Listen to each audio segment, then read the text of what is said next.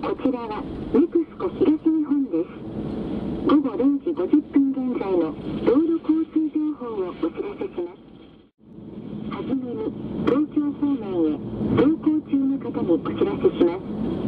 この先の神奈川インターの先23キロポスト付近で乗用車2台による事故が発生しており現在レッカー作業を行っています。この影響で宮城ジャンクションを先頭にほど渋滞しています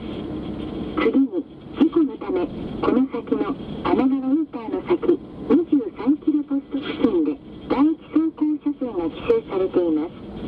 続いて東関東道を東京方面へ向かわれる方にお知らせします工事のため宮城ジャンクションの先で第一走行車線が規制されています続いて中央環状線内回りの情報です。小菅で舗装工事を行っておりこの影響で小菅の出口は閉鎖されています。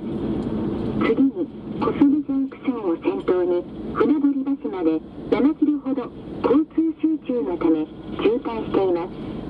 続いて9号深川線上り方向の情報です。箱崎ジャンクションを先頭に箱崎まで交通集中のため渋滞していますその他この付近の高速道路では交通に支障となる事故や渋滞の情報は入っていません。冬の間は雨や雪などによって路面が凍結する場合があります。冬用タイヤなど雪道への備えを忘れずに安全運転でお出かけください。ハイウェイラジオ京葉道路